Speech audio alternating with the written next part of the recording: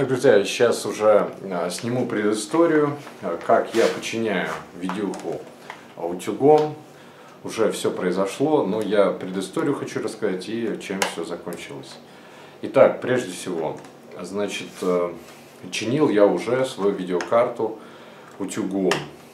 А, чинил 9 месяцев, 10 месяцев назад, но теперь заново надо было чинить. Как я определил?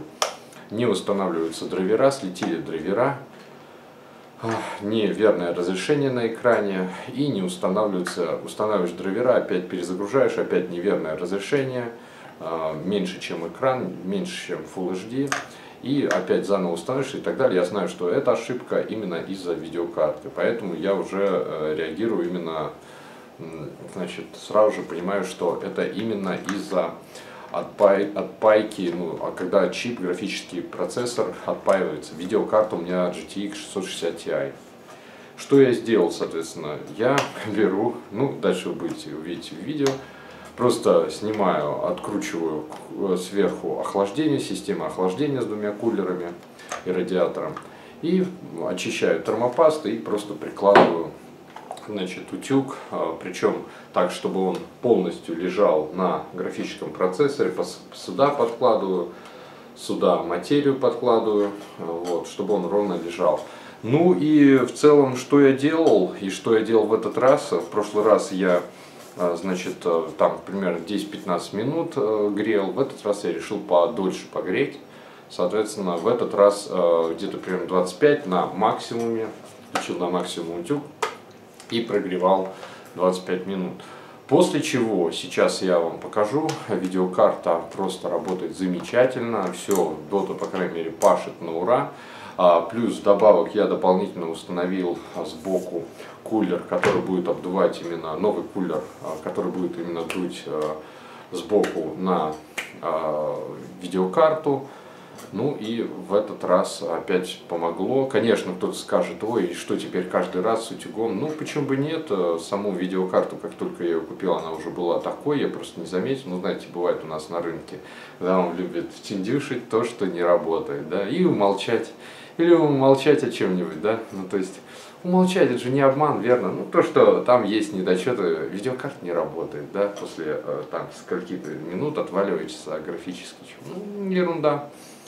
И поэтому, ну ничего страшного, я э, через 10 месяцев, через 9-10 месяцев опять спаял, все нормально. Так что вот такая вот ситуация. Итак, ребят, после там полугода примерно использования отвалился чип еще раз, очередной раз. Ну и что я?